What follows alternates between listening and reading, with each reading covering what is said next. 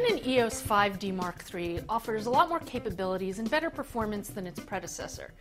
But despite a new sensor and new image processor, it's not so different on the basics, meaning photo and video quality, as you'd expect.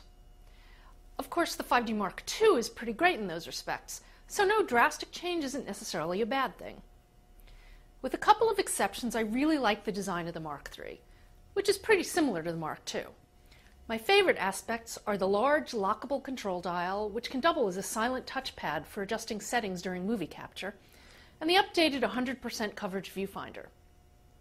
The controls are extremely customizable via a well-designed and easily accessible interface. Canon added a small programmable button to the top of the camera, and the depth of field preview button, also programmable, now sits near the grip for operation with your right ring finger. Canon's updated the recording interface, moving and consolidating the control for easier access. While it's great that the mode dial now locks, it uses the center push button that debuted in the 60D and which I find a bit awkward.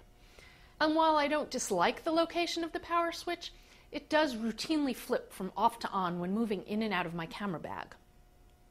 Incorporating Digic 5 Plus processing adds a lot of important features to the camera, which include support for UDMA7 compact flash. The camera now has dual CF SD card slots, which is really a useful feature.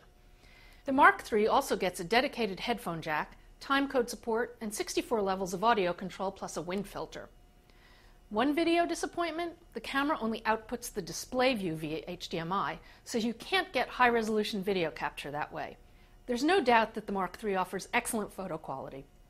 The unprocessed images do seem to have less pronounced color noise than the Mark II, and at mid range to high ISO sensitivities, the JPEGs do look a little cleaner. But at low to middle ISO sensitivities, I actually think the JPEG photos from the Mark II look a little better, with more naturally defined detail and fewer processing artifacts. That said, the Mark III's JPEGs do look fine, better than fine, up through ISO 1600, and depending upon the scene and your needs, they can be quite good through ISO 6400.